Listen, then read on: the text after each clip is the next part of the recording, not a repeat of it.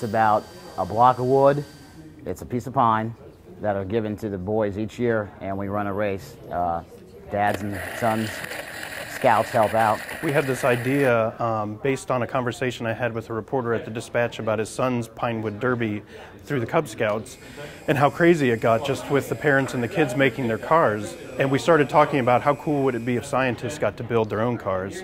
We have Battelle Memorial Institute, we have Edison Welding Institute, we have Ohio State University Automotive Research Center, and we have a Cub Scout himself. It's really kind of cool to be racing against these really big dogs. Most of grade school, I did Pinewood Derby competitions, and I didn't know any of the physics knowledge I have now. So then it was just about making your car look really cool. We gave each of them two kits um, that come with their Cub Scout Pinewood Derby, and we asked one of them to conform to uh, Cub Scout rules. And then the second car we said go crazy on. Do whatever you want, engineer the heck out of this car so it will race fast. Really, the only propulsion of the car is the weight of the car. So you want to increase the maximum amount of potential energy, which means, you know, if the car is like this, we want all the weight to be as high off the ground as possible. We're going to take this block of wood and metaphorically slice it into tiny thin sheets.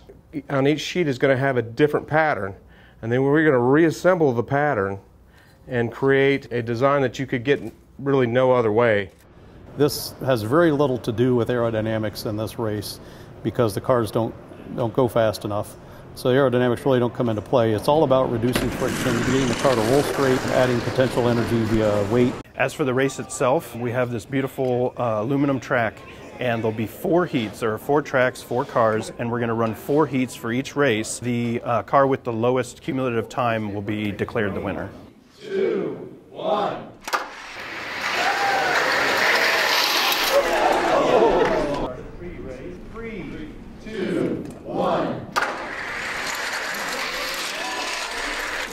That was close. Three, Three two, one.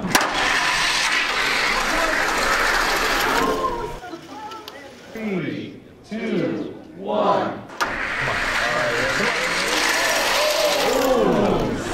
We got slow. Oh, okay.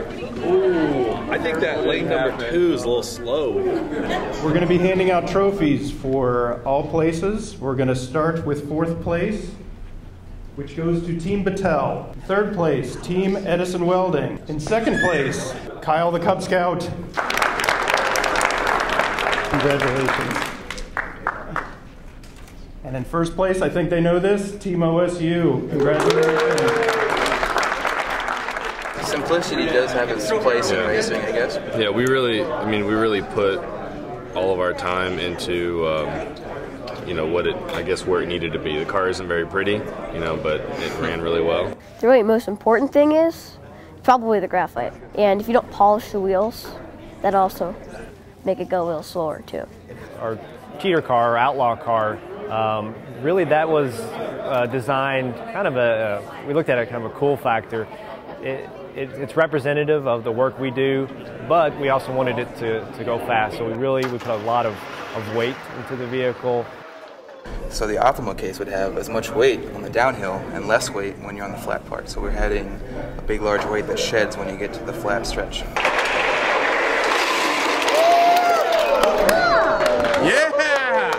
It's tungsten welding rod is the axle. Yeah. So, and I think yeah, they're milled aluminum wheels. Yeah, that's uh, yeah. we got none of that stuff. Well, you know, we have a, a thirty million dollars worth of equipment and a hundred thirty thousand square foot manufacturing laboratory. Yeah, so. exactly. We have some scrap metal and the pop top from a, but, a can. You know, at the end of the day, it's about creativity. Yeah. And the winner is Team Battelle. I think it was great. I mean, just to be all these guys who are engineers and who know how to do this better than I do. They have these $30 million tools, and we just have a power drill.